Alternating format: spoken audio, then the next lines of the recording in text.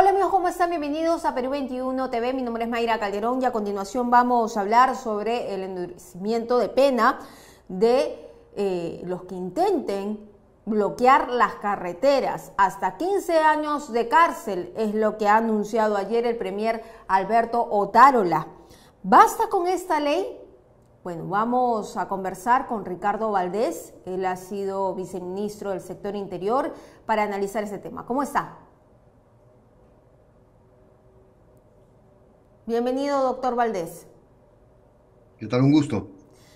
Disculpe la demora, pero eh, usted comprenderá que las noticias apremian y ese tema también es muy importante. Empezar preguntándole si cree que el endurecimiento de la pena de hasta 15 años para quienes intenten bloquear carreteras es suficiente para evitar em, que algunos fascinerosos eh, puedan eh, de alguna forma afectar los derechos de otras personas. Mire, eh, en lo personal yo soy alguien que considera que acá lo más importante es que las penas se apliquen. Eh, el bloqueo de carreteras como bloqueo de carreteras está, eh, no está en el rubro de disturbios, como es la norma que acaba de aprobar el gobierno. El bloqueo de carreteras con la finalidad de obtener algún tipo de beneficio está en el artículo 200 del Código Penal, es el delito de extorsión. Y el delito de extorsión eh, no se aplica, no se aplica bajo el concepto de bloqueo de carreteras hace muchísimos años. Entonces, ¿qué pasa cuando las normas están y no se aplican? Lo que se, genera, se crea, es obviamente una sensación de impunidad que hace que se repita eh, permanentemente todo tipo de delito. Entonces, eso pasa en la vida cotidiana, con la inseguridad ciudadana, y pasa lo mismo en los temas de orden público. Eh, ahora, lo que ha hecho el gobierno ha sido más bien endurecer las penas por disturbios. Dentro de los disturbios están eh, la posibilidad de que se interrumpa el, tránsito por una carretera y ha puesto una pena de no menos de 10 ni más de 15 años, eh, cuando ya teníamos eh, el, delito de extorsión que va entre 5 y 10 años. es decir, yo encuentro en primer lugar una gran inconsistencia entre los disturbios que pueden producirse por reclamos justificados y entre el bloqueo solicitando que se algún el gobierno o alguna entidad o una persona o una empresa eh, entregue algún tipo de prebenda o beneficio. Eso es extorsión. En estos momentos entonces, bajo ambas modalidades, tenemos que la extorsión va a tener una pena mucho menor con respecto al delito de disturbio. Esa es la primera inconsistencia que hay en la legislación. La segunda, en segundo lugar, la segunda inconsistencia. Es una inconsistencia seria porque el delito de extorsión es más grave que el de disturbios. Claro. El delito de extorsión inclusive considera que si mediante, cuando yo bloqueo una carretera con la finalidad de obtener de una empresa algo o del gobierno algo, eh, y, como consecuencia de ello yo mantengo como rehenes a quienes no se pueden desplazar, esa pena pasa inmediatamente a ser de entre 15 y 20 años. Y si por alguna razón alguno de los, de los eh, que están en calidad de rehenes con más de 24 horas, la pena se endurece a no menos de 20 años. Y si muere, es cadena perpetua. Entonces, esa es la figura del bloqueo de carreteras bajo la modalidad de extorsión, que es la que hemos visto usualmente, pero que cuya norma no se aplica. Entonces, si además el propio gobierno ha establecido eh, en este proceso por liberar las cárceles del hacinamiento que las penas hasta 12 años, por ejemplo, no van a ser efectivas. Ahí veo una segunda inconsistencia.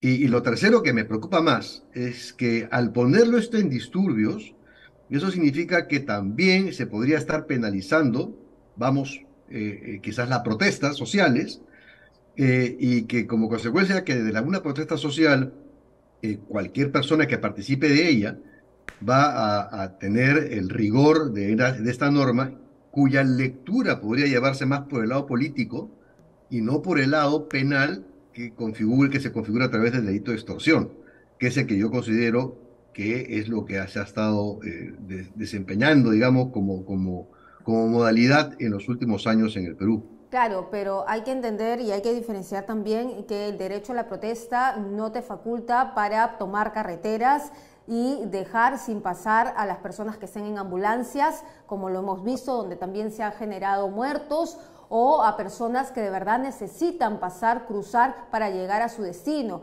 Eso también es una limitación al derecho de los demás. Entonces, le, doy, le doy la razón. Y justamente por eso digo que en ese caso, lo que debe aplicarse es el delito de extorsión, que llega hasta cadena perpetua cuando una persona fallece como consecuencia del bloqueo. Claro. Entonces, ahí hay, una, ahí hay un tema en donde está, al llevarlo a disturbios, están simplemente dorando la píldora de la verdadera esencia de este delito de extorsión que está tipificado hace muchos años en el artículo 200 del Código Penal. Está claro, quien bloquea carreteras con la finalidad de obtener TAC. ¿no? Y si esto supone que yo mantengo a una persona inmovilizada en calidad de rehén, que eso es lo que son, los que están dentro de un bus o una ambulancia, por más de 24 horas, y si alguien fallece, entonces eso es cadena perpetua. Lo que ocurre, y aquí es el, el tema de fondo principal, es que tengamos la norma por disturbios o la tengamos por extorsión, lo que hace falta es que la norma se aplique. Eso es lo que mucha gente llama mano dura. En realidad, la mano dura no es otra cosa que la aplicación justa y oportuna de la norma. Y eso es lo que no estamos viendo. Muy bien, señor Valdés. A propósito de la noticia de último minuto, donde el Tribunal Constitucional le concede la aplicación del indulto a Alberto Fujimori, liberar explícitamente eh, al expresidente en medio de una controversia eh, donde se está enfrentando, por así decirlo, lo que estamos haciendo eh, a nivel de la Corte Interamericana, lo que ha mandado la Corte Interamericana, que es vinculante a la justicia peruana. ¿Qué opinión le merece? Bueno, creo que ahí vamos a tener un gran inconveniente. Me parece que se está dando el paso por parte de algunas corrientes, eh, digamos, de opinión y políticas en el Perú, que muchos de ellos quieren desconocer el, rol que juega la Corte Interamericana de Derechos Humanos en el mundo eh, de América eh, Latina y, en general de América, ¿no? Este, la Corte Interamericana juega un rol muy importante y es verdad que eh, el gobierno puede o no puede hacerle caso, hablando así con toda franqueza, a lo que dispone la Corte Interamericana. Sin embargo, eh, esto es una visión muy de corto plazo, me parece un error de, por parte del Tribunal Constitucional. Creo que ha tenido que sopesar eh, mejor lo que implica una disposición de la Corte Interamericana, sobre todo cuando hay eh, en juego ciertas este, disposiciones contra los derechos humanos que se han visto afectadas y que son las que han impulsado esa decisión de la Corte. Por otro lado, también este, el Tribunal Constitucional había derivado esto al juez para que el juez se pronuncie en prácticamente en el mismo sentido que lo hizo. Eh, y, en realidad, si uno analiza la primera decisión del Tribunal Constitucional, pareciera que es distinta a la que acaba de tomar ahora. Entonces, eh, lo que puedo decirle es que aquí no hay otra forma de mirarla más que esto es consecuencia de una eh, decisión de una corriente de opinión eh, que está a favor de la liberación del presidente Fujimori y que sobre todo lo que está a favor es desconocer las normas vinculantes de la Corte Interamericana de Derechos Humanos. Esto creo que en el fondo lo que va a permitir, y aquí lo ligo con, la norma que ha dispuesto el gobierno, no hay que olvidar que el actual eh, ejecutivo está y varios ministros están incursos en eh, un problema como consecuencia de los eh, sucesos de diciembre y enero. Y que la Corte Interamericana también hay un proceso que está en curso al respecto y muchos otros que podrían caerse como consecuencia de esta decisión. Muy bien, muchísimas gracias, señor Valdés, por estar con nosotros analizando estos temas. Le agradezco su tiempo y disculpe nuevamente la demora en la conexión. Muy amable. Un gusto, Mayra. En otro momento podemos volver a conversar. Claro que sí.